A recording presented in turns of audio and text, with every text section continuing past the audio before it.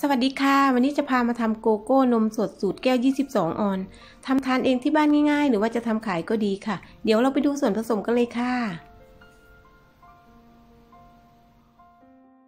ส่วนผสมก็จะมีโกโก้ค่ะ นมข้นหวาน นมสดค่ะ วันนี้เราใช้เป็นของทิวลิปนะคะ สีเข้มค่ะ แบบนี้นะคะ เดี๋ยวเรามาเริ่มทำกันเลยค่ะ โกโก้สามช้อนชาค่ะ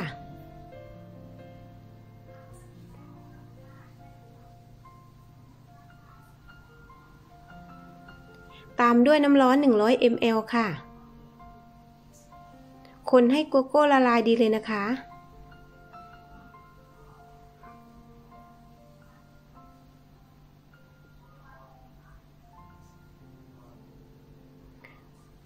นมข้นหวาน 40 ml ค่ะ ปรับเพิ่มลดได้ตามชอบเลยนะคะ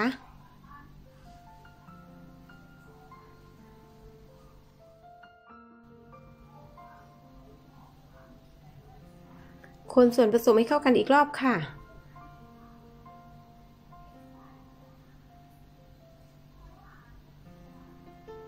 นมสด 40 ml ค่ะ คนส่วนผสมให้เข้ากันดีเลยนะคะ ไปนะคะ แล้วก็มาเตรียมปั๊มฟองนมรอค่ะ ส่วนตัวฟองนมนะคะ เราจะใช้เป็นนมสดที่แช่เย็นจัดเลยนะคะ ตักน้ำแข็งเต็มแก้วยีิบสองออนค่ะ เทน้ำโกโก้ใส่ลงไปได้เลยค่ะ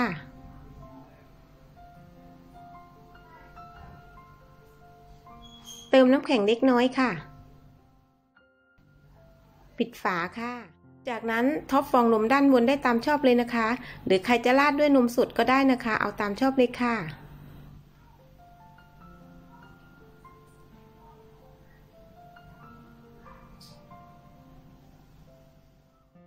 เสร็จแล้วค่ะสำหรับเมนูโกโก้นมสดทำทานเองที่บ้านง่ายๆ หรือว่าจะทำขายก็ดีค่ะ ลองไปทำดูนะคะ คลิปนี้ขอตัวลาไปก่อนค่ะ เจอกันคลิปหน้านะคะ สวัสดีค่ะ